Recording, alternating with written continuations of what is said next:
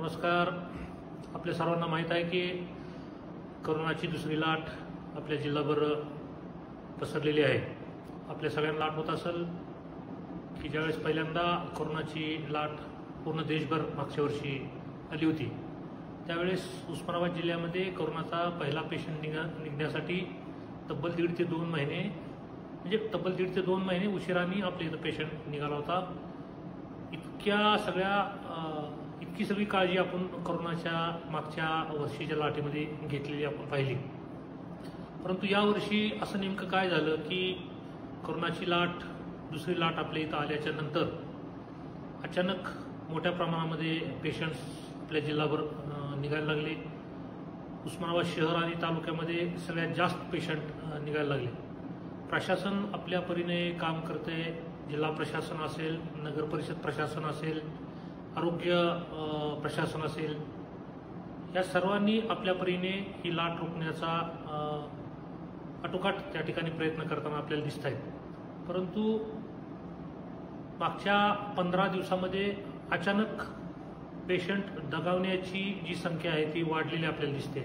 नेमकं त्याच्या मागचं कारण काय आहे? हे सगळं आपण सगळेजण समजून घेण्याची गरज आहे. आपल्या सगळ्यांना माहिती आहे शासनाने कोरोनाच्या पार्श्वभूमीवरती महाराष्ट्रभर लॉकडाऊन त्या ठिकाणी केला आहे उस्मानाबाद शहर आणि तालुक्याच्या बाबतीत जर बोलायचं झालं तर उस्मानाबाद शहरामध्ये आणि तालुक्यामध्ये मोठ्या प्रमाणामध्ये कोरोनाच्या R T P C R testing असतील किंवा अँटीजन टेस्टिंग असतील या टेस्टिंग देखील आपण वाढवलेल्या आहेत.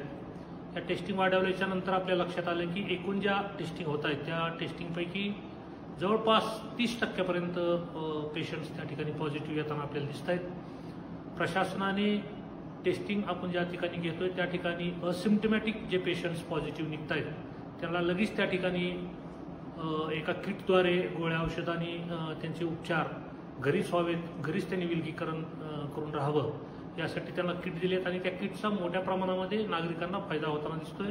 कोरोनाचे पेशंट आपल्या आपल्या घरीच त्या ठिकाणी बरे होताना देखील दिसत आहेत परंतु अशी ही परिस्थिती आहे की काही पेशंट त्या ठिकाणी अचानक त्यांना त्रास होतोय आणि अचानक त्रास झाल्याच्यानंतर सिव्हिल हॉस्पिटलमध्ये असतील किंवा खाजगी दवाखान्यामध्ये असेल हे पेशंट अचानक दवाखान्यामध्ये दाखल झाल्याच्यानंतर चोवीस तास अठ्ठेचाळीस तास किंवा बहात्तर तास या अतिशय कमी वेळामध्ये हे पेशंट दगावताना आपल्याला दिसत आहेत या मागचं कारण आपल्या सगळ्यांनी शोधणं खूप महत्वाचं वाटतंय. म्हणून मी आज आपल्यासमोर या ठिकाणी आलोय. आपल्या सगळ्यांना मी सांगू इच्छितो मी काय डॉक्टर नाही किंवा माझं शिक्षणही तेवढं झालेलं नाही परंतु जे नागरिकांचे कॉल येतात आणि ते आपली अडचण त्या ठिकाणी सांगतात त्याच्यावरून एक गोष्ट लक्षात आली की नागरिक मोठ्या प्रमाणावरती हा आजार जो आहे तो अंगावर काढताना दिसत आहे यापूर्वी करोनाचे जी काही सिमटम्स होते ज्याला आपण करोनाची लक्षणं म्हणतो जी लक्षणं होते ती खूप सीमित होते. परंतु आता या करोनाचे लक्षणं जे आहेत ते खूप मोठ्या प्रमाणामध्ये वाढलेले आपल्याला पाहायला मिळत आहेत सर्दी खोकला तर यापूर्वीचीच लक्षणं होती. अंगाला ताप येणं हे सुद्धा यापूर्वीचंच लक्षण होतं. परंतु आता सर्दी खोकला आणि ताप हे सोडून नागरिकांना त्या ठिकाणी पोटदुखीचं लक्षण नव्यानं आढळून येताना आपल्याला दिसतंय. अंगदुखी पहिली होती परंतु नुसते पाय दुखणं किंवा नुसते हात दुखणं हे आता नव्याने लक्षण त्या ठिकाणी आपल्याला पाहायला मिळते काही नागरिकांना नुसतं लूज मोशन्स त्या ठिकाणी होताना दिसत आहेत आणि मग अशी लक्षणं आढळल्याच्या नंतर नागरिक घरच्या घरी उपाय करून नीट होण्याचा प्रयत्न करतात. आणि मग तो कोरोनाचा पेशंट असेल तर तो तीन ते चार दिवस तसाच घरी आपला उपचार घेत असताना त्याला ही लक्षणं वाढत जाताना दिसत आहेत आणि अचानक तो पेशंट त्या ठिकाणी त्याला हॉस्पिटलाइज करायला लागतं आणि हॉस्पिटलाइज केल्याच्यानंतर फार काही डॉक्टरांच्या हातामध्ये राहत नाही. आणि मग पेशंट्स त्या ठिकाणी दगावताना आपल्याला पाहायला मिळतात. मला आपल्या सगळ्यांना सांगायचं की परदेशामध्ये आपले जे मराठी डॉक्टर्स आहेत ते वारंवार सोशल मीडिया असेल किंवा इतर माध्यमातून आपल्याला मार्गदर्शन करत असतात. लस कुठली घ्यायची कधी घ्यायची लस घेतल्यानंतर त्याचे काय फायदे तोटे आहेत ह्या सगळ्या गोष्टींचं मार्गदर्शन त्या लोकांच्याकडून आपल्याला होतंय. परंतु जे करोना झाल्यानंतरचे जे पेशंट आहेत आता लॉकडाऊन आहे आपण सगळेजण घराच्या बाहेर निघू नये अशी प्रशासनाची आपल्याला त्या ठिकाणी विनंती आहेच. परंतु घरीच जरी आपण राहत असलो तरी हा आजार घरी राहून अंगावर काढण्याचा आजार निश्चितपणे नाहीये. या लक्षणापैकी कुठलंही लक्षण आपल्याला आढळल्यास सगळ्यात पहिल्यांदा आपण डॉक्टरांशीच त्या ठिकाणी त्या- डॉक्टरांचा सल्ला घेणं त्या ठिकाणी आवश्यक आहे. उस्मानाबाद शहराच्या बाबतीत बोलायचं झालं तर उस्मानाबाद शहरामध्ये रोज आपण पाच ठिकाणी या उस्मानाबाद शहरामध्ये कोरोनाची टेस्टिंग अँटीजन टेस्ट असेल R P R T P C आरची टेस्ट असेल या टेस्ट आपण पाच ठिकाणी करतोय. त्यामध्ये प्रामुख्याने चोवीस नंबर शाळा जी नगर परिषदेची रामनगरला शाळा आहे त्या शाळेमध्ये आपण टेस्टिंग करतोय. जिजामाता जे मुलींचं वसतिगृह बार्शी बायपास रोडला आहे त्या बार्शी बायपासच्या वसतिगृहामध्ये देखील आपण टेस्टिंग करतोय. सिव्हिल हॉस्पिटलमध्ये देखील त्या ठिकाणी टेस्टिंग होते. आहे नगरपालिकेच्या आणि समाज बांधवाच्या वतीने जे मोहल्ला क्लिनिक शहरामध्ये उघडले त्या मोहल्ला क्लिनिकमध्ये सुद्धा आपण टेस्टिंग करतोय. जे नगरपालिकेचं जे नागरी प्राथमिक आरोग्य केंद्र आहे वैराग रोडचं. त्या वैराग रोडला देखील आपण त्या ठिकाणी टेस्टिंग करतोय. जवळपास पाचशे ते सातशे टेस्ट रोज आपण नागरिकांच्या या ठिकाणी करतोय. तरी देखील हा आजार मोठ्या प्रमाणामध्ये बळावताना आपल्याला दिसतोय.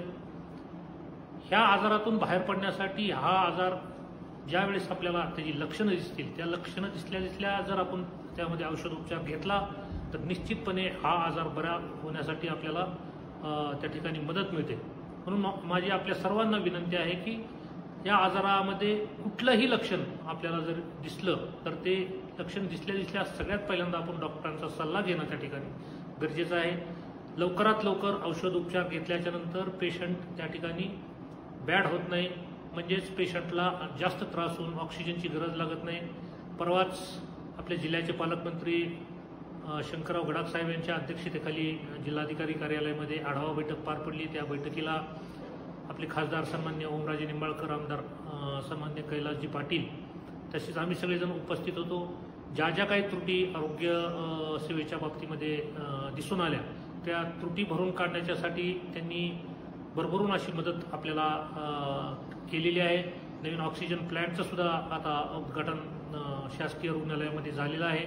बऱ्याच पेशंटचे फोन येतात रेमडेसिवीरचं इंजेक्शन नाही ऑक्सिजन मिळत नाही आहे बेड मिळत नाही आहे ही परिस्थिती समोर येण्याच्या मागे जे काही कारण आहेत ते कारणापैकी एक प्रमुख कारण म्हणजे आपल्याला दिसते की आपण हा आजार अंगावरती काढतोय.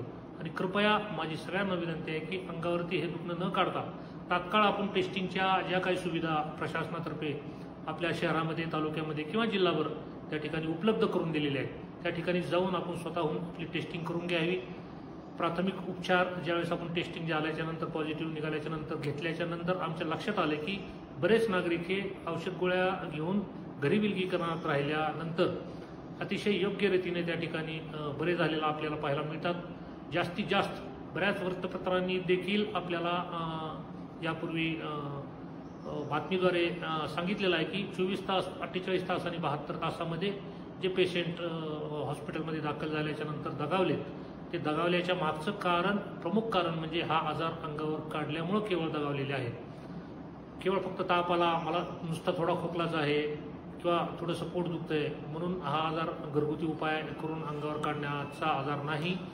निश्चितपणे या आजाराला आपण औषध गोळ्या जर प्राथमिक स्वरूप- स्वरूपामध्ये घेतल्या तर निश्चितपणे हा आजार लवकरात लवकर बरा होऊन आपण या संकटातून दूर राहू शकतो. एवढीच मला माझं आज आपल्याला सांगणं आहे. प्रशासनाने जे काही नियम आपल्याला घालून दिलेत त्या नियमाचं आपण तंतोतंत पालन करालच. ही अपेक्षा मी या ठिकाणी व्यक्त करतो नगर परिषद प्रशासन असेल जिल्हा प्रशासन असेल त्यांना आपण सगळ्या नागरिकांनी मिळून मदत करावी. अशी देखील देखील मी या ठिकाणी अपेक्षा व्यक्त करतो. नमस्कार धन्यवाद.